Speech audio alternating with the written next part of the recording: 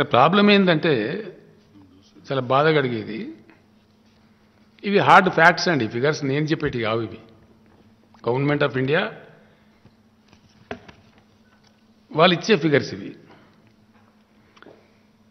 Per capital income of India ఒక లక్ష నలభై తొమ్మిది వేల రూపాయల ఎనిమిది వందల నలభై ఎనిమిది రూపాయలు. One lakh forty nine thousand eight forty eight. Per capital of Telangana two lakh seventy eight thousand eight thirty three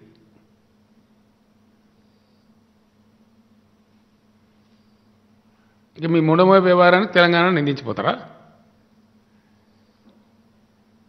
దీని పరిణామం ఏందండి? నేను ఈరోజు చెప్తున్నాను మీరు అనుకుంటున్నారు సారీ.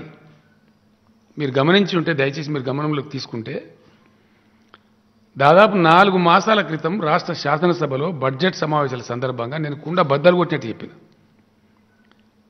మనం ఎంత పరిగెత్తినా ఎంత ఆరాటపడ్డా దేశంలో అసమర్థ ప్రభుత్వం ఉంటే కేంద్ర ప్రభుత్వం దద్దమ్మ ప్రభుత్వం ఉంటే దుష్ఫలితాలు వస్తున్నాయి మనకు అని చెప్పిన స్పష్టంగా.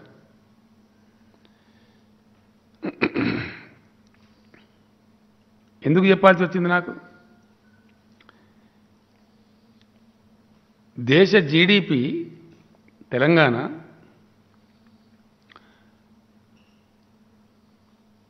one twenty eight percent పెంచుకున్నది.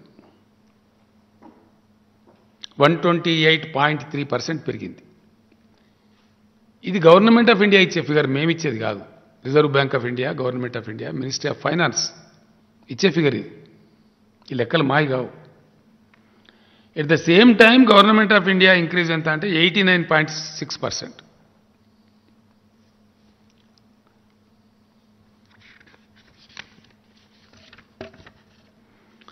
అంటే తెలంగాణ పర్ఫార్మెన్స్ తెలంగాణ పెరుగుదల ముప్పై ఎనిమిది పాయింట్ రెండు శాతం ఎక్కువ. నేను అసెంబ్లీలో చెప్పిన రికార్డ్స్లో ఉంది ఇప్పుడు. తెలంగాణ స్థాయికి తెలంగాణను మించి కాదు. తెలంగాణ మందం కేంద్ర ప్రభుత్వం కనుక పనిచేసి ఉంటే తెలంగాణ జిఎస్డిపి పదకొండున్నర లక్షల కోట్లు కాదు పద్నాలుగున్నర లక్షల కోట్లు ఉండాలి. అంటే కేంద్ర ప్రభుత్వం యొక్క దద్దమ్మ విధానాల వల్ల కేంద్ర ప్రభుత్వం యొక్క అసమర్థ విధానాల వల్ల కేంద్ర ప్రభుత్వం యొక్క అవివేక పాలసీల వల్ల ఒక్క తెలంగాణ రాష్ట్రమే మూడు లక్షల కోట్లు నష్టపోయింది. ఇది నేను చెప్పిన అసెంబ్లీలో. చెప్పిన తర్వాతనే నేను ఇలా దేశం నేను చెప్తున్నా అంటే ఈ గవర్నమెంటు ఇప్పుడున్న కేంద్ర ప్రభుత్వం ఏదైతే ఉందో ఎనిమిది సంవత్సరాల కాలాన్ని పూర్తి చేసుకున్నట్టు eighty percent time is over వాళ్ళ శక్తి ఏందో సామర్థ్యం ఏందో దేశం ముందు చూపెట్టారు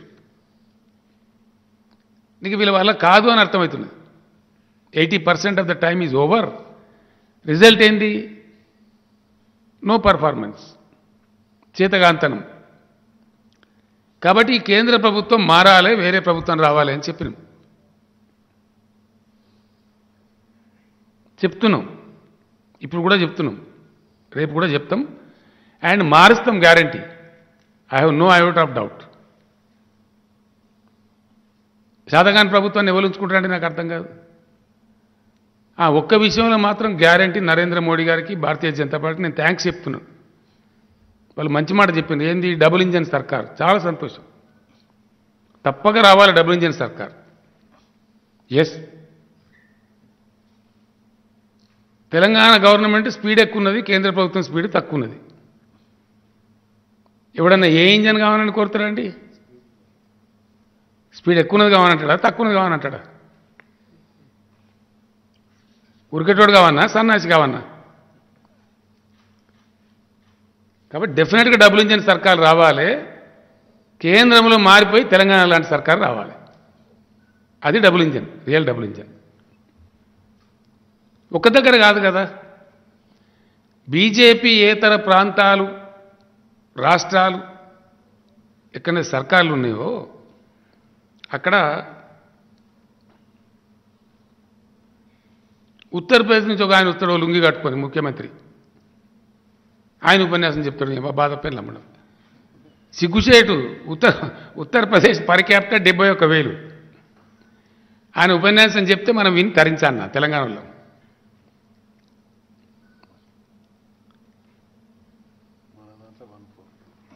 తెలంగాణ పర్ క్యాపిటాలో నాలుగో వంతు కాదు. మన దాంట్లో చారాన పనిచేసిన వచ్చి మనకు చెప్తారట నీతి. మనం వినాలి. విని తరించాలి. బాగలేదా రాహుల్ ఇది?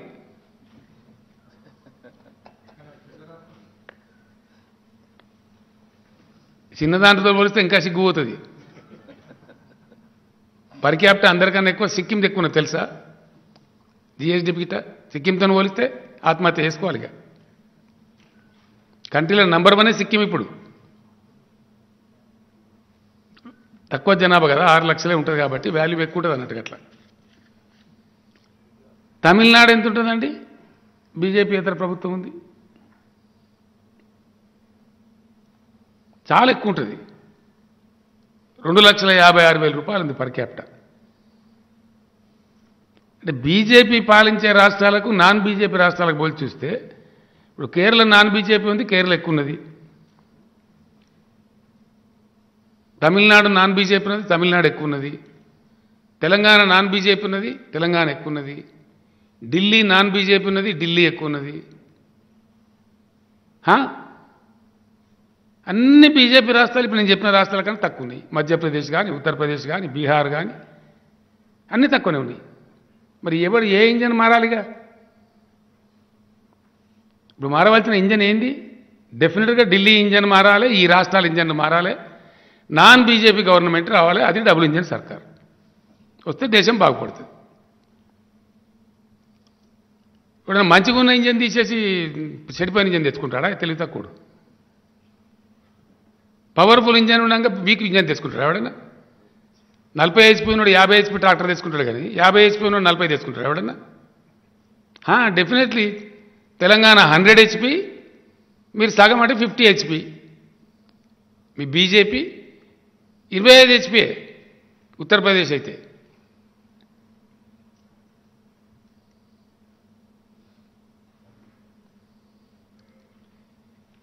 ఇక ఇది వాస్తవం వాస్తవం కాదా. ఈ ఫిగర్స్ నాయి కావు కదా. ఘనత వహించినటువంటి కేంద్ర ప్రభుత్వం యొక్క ఆర్థిక శాఖ అధికారికంగా వెలువరించేటువంటి కథ ఇది. ఇది నెట్లో కొడితే మీకు దొరుకుతుంది. కేసీఆర్ చెప్పే అవసరం లేదు మీకు. నెట్లో ఉన్న ఈ ఫిగర్స్ ఎవరైనా ఎక్స్ప్లోర్ చేసుకోవచ్చు. సైట్ కూడా వస్తుంది. మినిస్ట్రీ ఆఫ్ స్టాటిస్టిక్స్ అని ఫైనాన్స్ మినిస్ట్రీలో ఉంటుంది. ఆ స్టాటిస్టిక్స్ విభాగం వాళ్ళు వెల్లడించే లెక్కలు. ఆర్బీఐ వెల్లడించే లెక్కలు ఇది అధికారిక లెక్కలు. కాంగి ముచ్చట్లు కావు. వాటి లొడలోడ ముచ్చట్లు కావు. గొంతు చింపుకొని మాట్లాడే పనికిమాలిన ఉపన్యాసాలు కావు. లెక్కలు ఫ్యాక్ట్స్ నిప్పులాంటి నిజాలు. అందుకే మేము ఏమంటున్నాము మేము ఇంత మంచిగా పనిచేసినా కానీ కేంద్రం అసమర్థంగా ఉండడం వల్ల ఎక్కడైతే బీజేపీ గవర్నమెంట్లో వాళ్ళ అసమర్థత వల్ల మేమిచ్చే డబ్బులు తీసుకుపోయి వాళ్ళకు పెడుతున్నారు కాబట్టి మాకు ఇవ్వకుండా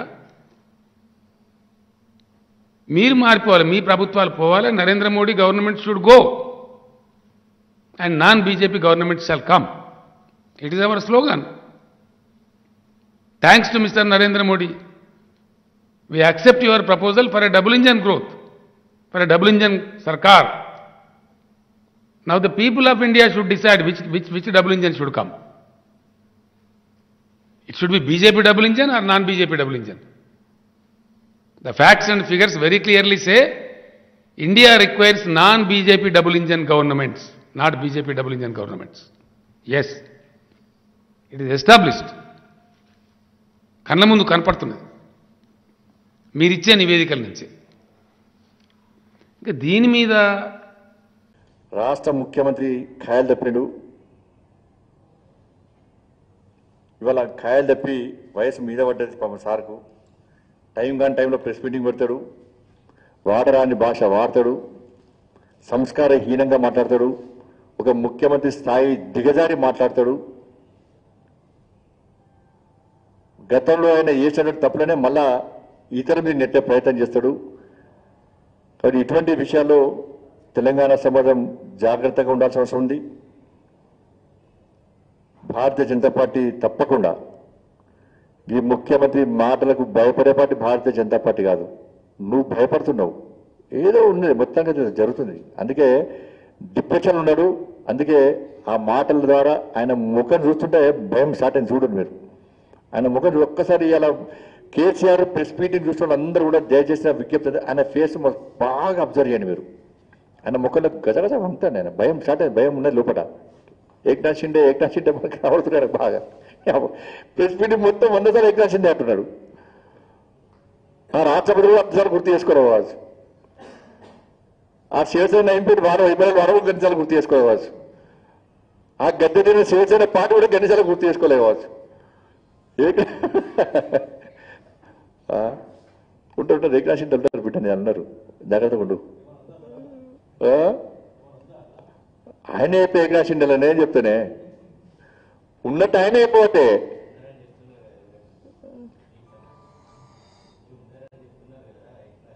ఉంటాడు కొడుకు అవుతాడు ఏకనాశిండే బిడ్డ అవుతాడు అల్లుడు అవుతాడు ఇంకోటి అవుతాడు రావచ్చు ఏం తెలుసు? లేకుంటే గిన్నె రోజులకి ఇలా బయటకు వస్తాడు ఇప్పుడు నాకు అర్థం కాదు. అంటే ఏకనాశిలో తయారవుతున్నారు అందుకే తయారు చేయమన్నాను ఆ? ఏకనాశం తయారు చేసినామా? నీ అహంకారం విధంగా తయారెత్తుడు కావచ్చు నువ్వు తయారైన కావచ్చు. మళ్ళా బీజేపీలో నెట్టే ప్రయత్నం చేస్తున్నావు. బీజేపీ అంటే ఆయన ఇప్పుడు ఆయన మాట అర్థమైపోయింది. ఆయన మాట అర్థమైపోయింది బీజేపీ అని అడుగుతున్నాను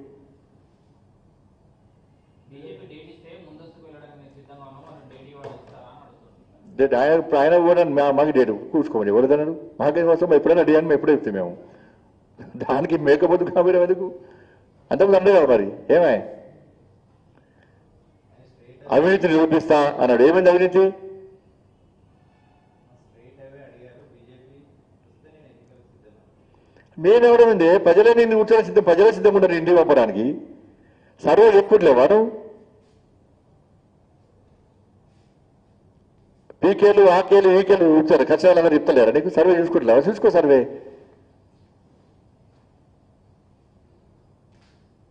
నిన్ను ఇంటికి పంపడానికి ప్రజలు సిద్ధంగా ఉన్నారు ఎప్పుడు ఎన్నికలు వచ్చినా భారతీయ జనతా పార్టీ సిద్ధంగా ఉందని చెప్పి నేను గారు అమిత్ షా కూడా చెప్పారు.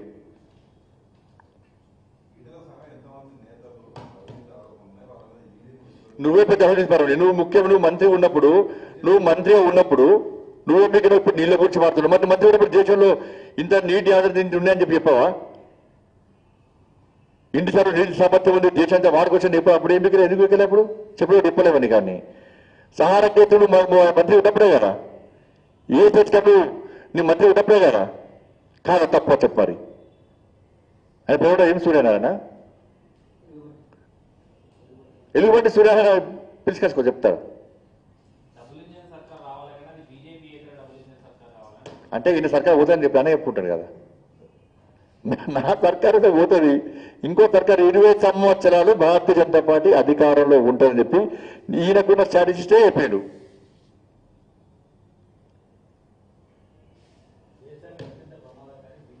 ఆ? ఈయన గిక్కనే గట్టిగా గాడికేం పోతాడు? నాకు అర్థం కాలే. ఈయన ఇక్కడనే గిన్ని సంవత్సరాలు బయటికి రాలే. ఈయన ఏం చేస్తాడు? ఎప్పుడు నాకు అర్థం కాదు రాష్ట్రపతి అభ్యర్థి గురించి మాట్లాడాడు. బీజేపీ ఎందుకంటే సింగిల్ మెజార్టీ మరి నువ్వు దమ్ముట ఓడగొట్టి ఇప్పుడు మరి. చలో నువ్వు పెద్ద తోపు కానీ కదా చలో ఓడగొట్టు. ఇలా మోడీ గారు మన నడ్డ గారు ఒక ఎస్టీ సామాజిక వర్గానికి సంబంధించినటువంటి ద్రౌపది ముర్ము గారిని రాష్ట్రపతి అభ్యర్థిగా నిలబెట్టినారు. అందుకే టిఆర్ఎస్ పార్టీకి సంబంధించినటువంటి శాసనసభ్యులను పార్లమెంట్ సభ్యులను కూడా విజ్ఞప్తి చేస్తున్నా డిమాండ్ చేస్తున్నా విజ్ఞప్తి చేస్తున్నా దయచేసి ద్రౌపది ముర్ము వారికి మీ అమూల్యమైన ఓటు వేయండి. కేసీఆర్లకు అహంకారం చెప్తలేను రిక్వెస్ట్ చెప్తూ రిక్వెస్ట్ చేస్తున్నాం. దయచేసి ద్రౌపది ముర్ము వారికి ఓటు వేసి గెలిపించదాం. ఒక మంచి సంకేతం ఇద్దాం.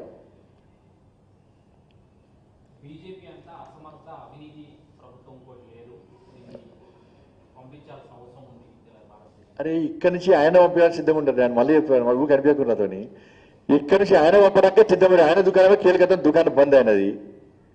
ఈయన దేశం గురించి మాట్లాడతాడు అంటున్నాను నేను. ఈయన ఇక్కడ ఇక్కడ అక్కడే పుడతాడు ఈడ ఈడ దుకాణం బంద్. ఈయన కాలంలో అరవై అంటారు దేశం నేను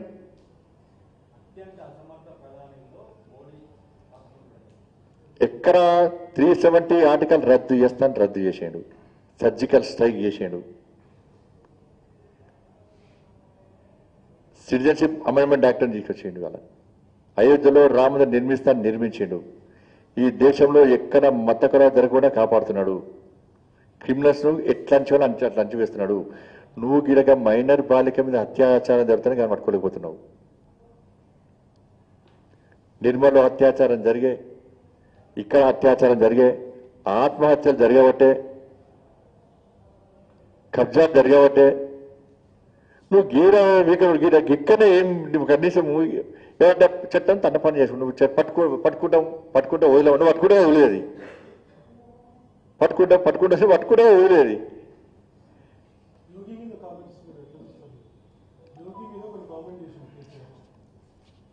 ప్రజలు ఆలోచిస్తారు.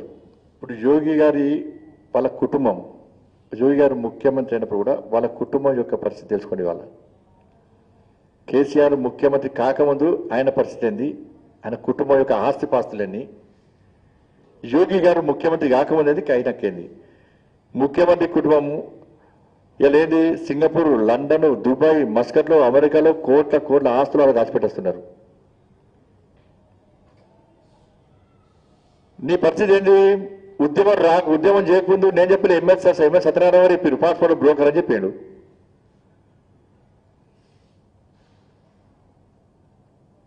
చెట్టు కట్టేసి పెట్టారు సోషల్ మీడియా కానీ అలా నేను పాక నేను నాకు తెలియదు విషయము ఇలా సోషల్ మీడియా చూస్తున్నాయి అలా పాస్పోర్ట్ బ్రోకర్ అప్పుడు చెట్టు కట్టేసి కొట్టి మర్చిపోయినావా కేసీఆర్ పెట్టాడు కానీ ఆ కామెంట్ నాకే తెలియదు అయ్యారో తెలుసు నాకైతే. అది తెలియదు ఇప్పుడే సోషల్ మీడియా చూసిన కామెంట్ నేను. ఎడగొట్టారు నాకే తెలియదు కానీ తెలుసుకుంటుంది. ఆ కామెంట్ వేసిన పట్టుకొచ్చి అడుగుతాను ఎడగట్టేసారు అది ఇంపార్టెంట్ ఎందుకంటే ఇవన్నీ చాలా ఇంపార్టెంట్ నెక్స్ట్ సమాధానం చెప్పాలి కదా. కేసీఆర్ను రజాకాలతో తీసుకునే రెడీ అవుతుంది ఒక్కడే కాదు మీకు చెప్తే మంచి చెప్తున్నారు ఒక్క పోటీ వరకు తీస్తున్నారు సినిమాలు రజాకాల సినిమాలు. పోటీ ము- ఒక్కటే కాదు మూడు నాలుగు సినిమాలు వస్తున్నాయి. చూసి గుడ్డ చచ్చిపోతాడు. బయట మాట్లాడు ఒకటిసారి మళ్ళా. రజాకారులు ఒక్క సినిమా కాదు సినిమాలు వస్తున్నాయి.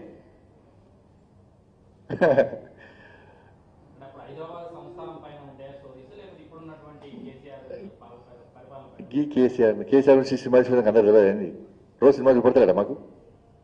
ఒరిజినల్ సినిమాలు కూడా పడుతుంది రోజు కేసీఆర్ సినిమా. ఇంకా మన సినిమా పెట్టడం ఎందుకు? జీతాలు ఎందుకు ఇస్తలేడు మరి? జీతాలు ఎందుకు ఇస్తలేడు? పెన్షన్ ఎందుకు ఇస్తలేడు? ఆ పోలీసు వాళ్ళకు ఉద్యోగస్తులకు ఆర్టీసీ కార్మికులకు కావాల్సిన బెనిఫిట్స్ ఎందుకు ఇస్తలేడు? ఎందుకు అప్పుల నష్టంగా మార్చింది చెప్పు చేతి ఎందుకు ఇస్తండి ఇవాళ?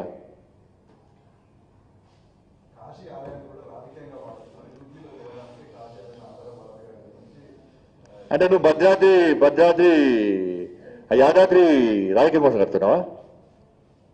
రోడ్లు ఇవన్నీ ఒక్కపాయ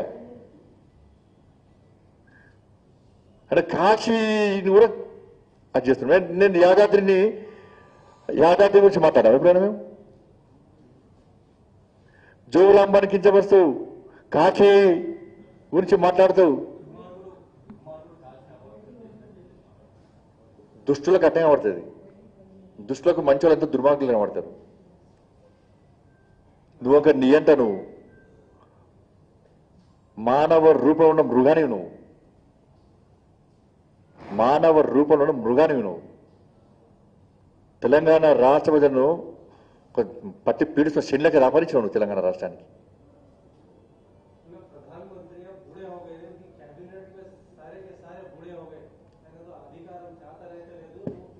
నీ వయసు అంతా ఎప్పుడు నువ్వు నీ వయసు మీద ఉన్నాను శాతం అవుతుంది అరవై శాతం అవుతుంది నీకు? నువ్వు నువ్వు ఒక్కసారి నువ్వు అది ఏమంటారు షో ఏమంటారు అని నువ్వు క్యాట్ అంటే నువ్వు అంటు చూడు మరి. నువ్వు చక్కగా మోడీ అనక నువ్వు నువ్వు చాలా యంగ్ కదా. నీకు ముప్పై ఏళ్ళే ఉన్నాయి అనుకో పదహారులో పిల్లాడి కావచ్చు నువ్వు. మరి తిరుగు. మోడీ గారు నడుస్తాడు అది ఏం ఏం వాకంటారు అది? క్యాట్ వాక్ అంటారు నువ్వు అడుగు చూద్దాం మరి. నువ్వు క్యాట్ వాక్ చూసావు తెచ్చాడు మోడీ గారు నడుస్తాడు నువ్వు నువ్వు కింద పడతావు మీద పడతావు హెలికాప్టర్ దిగి కింద పడవు నువ్వు ఎలక్షన్ అప్పుడు హెలికాప్టర్ దిగి కింద పడవు నువ్వు నడతావా చెప్పు. పది అడుగులు వేయలేవు నువ్వు పది అడుగులు వేయలేవు చక్కగా నువ్వు ఎవరు నువ్వు